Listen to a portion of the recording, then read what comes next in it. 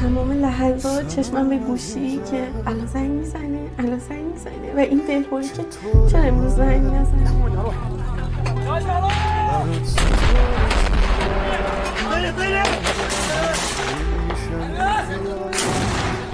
همیشه حمید جان میگفتش که کسی که میره برای دفاع از حرم حضرت زینب باید مثل حضرت عباس شهید بشه.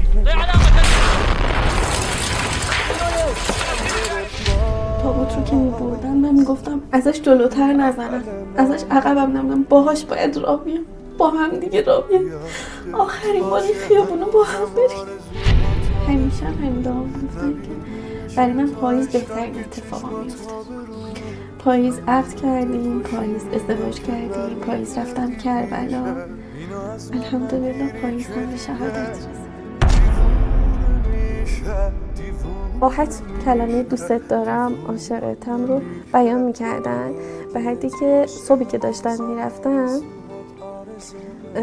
گفتن که من پشت تلفن نمی‌تونم جلوی دوستان به شما بگم دوستت دارم. می‌تونم بگم دلم تنگ شده اما نمی‌تونم بگم دوستت دارم. چیکار کنم؟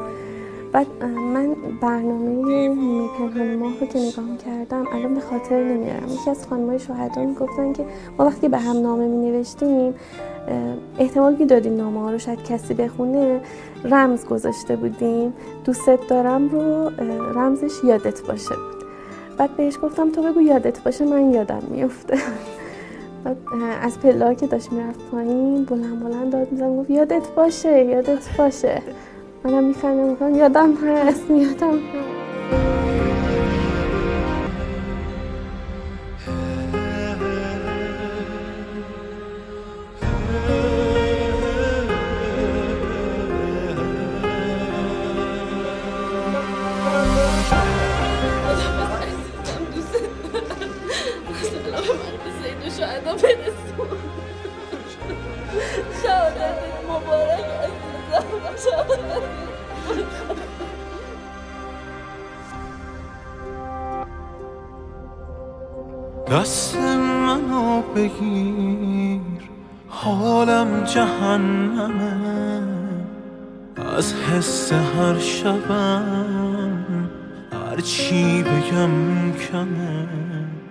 بغزم غرورم و یاری نمی‌کنه این گریه ها برام کاری نمی‌کنه. عزیز دل. اینجا رو بیکس؟ آخه ولی من شاید نمیشم حالا می‌بینی.